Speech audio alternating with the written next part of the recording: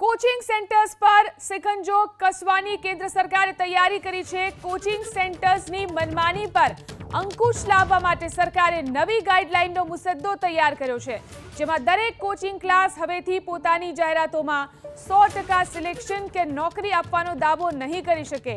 કોઈપણ કોચિંગ સંસ્થા જરૂરી જાણકારીને જાહેરાતમાં છુપાવી નહીં શકે આ સાથે જ સફળ વિદ્યાર્થીઓએ કયો કોર્સ પસંદ કર્યો હતો અને તેમણે કેટલા દિવસ સુધી કોચિંગ કર્યું હતું આ સાથે જ જાહેરાતોની અંદર સંસ્થાની સફળતાના દર અંગે ખોટી માહિતી પણ નહીં આપી શકાય હાલ તો ગ્રાહક બાબતોના મંત્રાલયે નવી ગાઈડલાઇનને જાહેર કરી જનતા પાસે ત્રીસ દિવસમાં તેમના અભિપ્રાય મંગાવ્યા છે